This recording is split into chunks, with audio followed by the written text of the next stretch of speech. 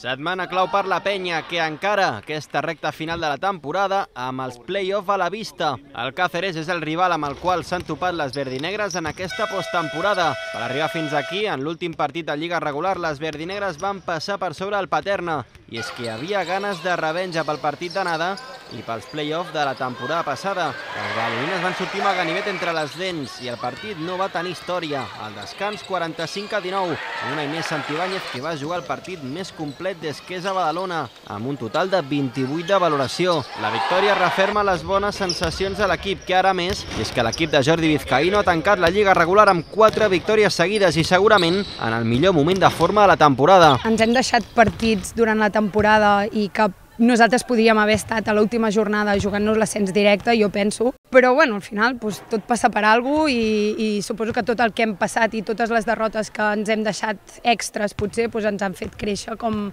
com a equip i arribar d'aquesta manera que estem ara a, als partits importants. El rival a la post-season, el Cáceres, el vuitè classificat, és un equip dur que ja va guanyar l'Olímpic en la jornada 6 per un punt de diferència, incentiu més que suficient per les verdinegres. La penya actual, a més, és un equip molt més madur, regular i, sobretot, sense lesions com a l'inici de la temporada. La diferència és, és mental, o sigui, crec, i, i l'altre dia ho parlàvem, que, que ara mateix som un equip que entrena feliç, juga feliç, juga content i, i crec que això és, és el més important a, al fi, arribar al final de temporada d'aquesta manera. Crec que, que sí que tindrem, que tindrem la fam que van tenir el, el dissabte, que també al final és un recurs que nosaltres utilitzem, és a dir, intentar doncs, això, tenir un ritme alt de partit i, i tenir moltes ganes de fer un bon bàsquet. El maig d'anada serà aquest dissabte a Càceres, mentre que la tornada, dissabte que ve, serà la plana, ja que a l'Olímpic hi ha un concert. Qui té moltes ganes de demostrar és la valenciana Lorena Segura, que després d'un mes aturada per una lesió,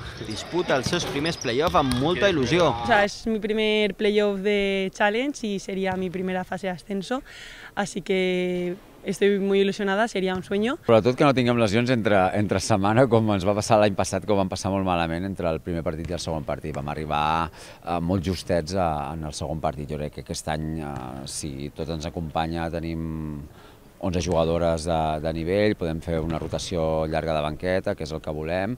L'Ardoi Navarrés ha acabat com a primer de grup i s'ha assegurat l'ascens a Lliga Femenina, després de vèncer l'Unicaja en l'últim partit de Lliga regular. La resta d'emparellaments, Azul Marino Zamora, Alcobendas Paterna i un apassionant Leganés Estepona.